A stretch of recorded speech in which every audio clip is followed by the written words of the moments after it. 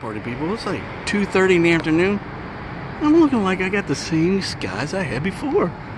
Same kind of crap. Just looks different. It's still spread out above us. Check this out. This is like creeping me out. I was like, what the heck? It's like it never moved, or just another one came up here and just look. Look at this one. This one's creepy looking. Look how creepy that bad boy is. It's a creepy day. Look at that. Look at this one. That's a freaking creepy one. Yeah, see, it's 2.30. Look at this shit above us. This shit's crazy looking. Just thought I'd share, people. Be safe out there. Peace.